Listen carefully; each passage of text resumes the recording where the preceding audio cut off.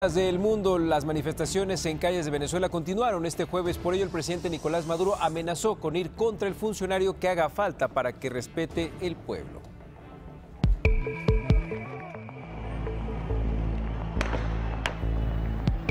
Los disturbios y enfrentamientos en Venezuela continuaron durante este jueves. Vehículos de la Guardia Nacional golpearon a manifestantes que salieron a las calles de Caracas, marcando una escalada de violencia entre partidarios del líder opositor Juan Guaidó y el presidente Nicolás Maduro.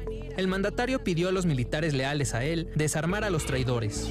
A los traidores, detenerlos. A los golpistas, rechazarlos y detenerlos también. Y la Fuerza Armada unida, cohesionada, bajo el mando supremo de las leyes y de la Constitución. El ministro de Defensa, Vladimir Padrino, quien supuestamente había hecho un acuerdo con Guaidó, acusó la compra de militares.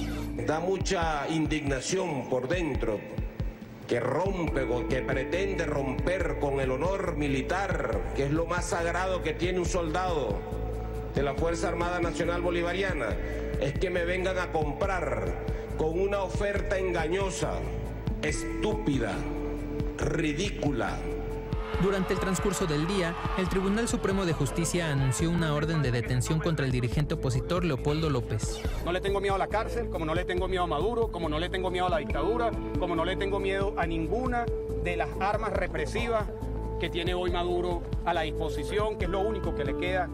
López se encuentra refugiado en la residencia del embajador español junto a su esposa y su hija de 15 meses. El gobierno de España dijo que no tiene la intención de entregar al líder opositor a pesar de la orden del tribunal. El dirigente opositor espera que el cambio de gobierno en Venezuela ocurra en unas semanas y reiteró su apoyo al opositor Juan Guaidó. Para Imagen, Alejandro Aguilar.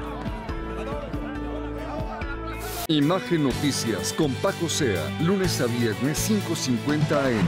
Participa en Imagen Televisión.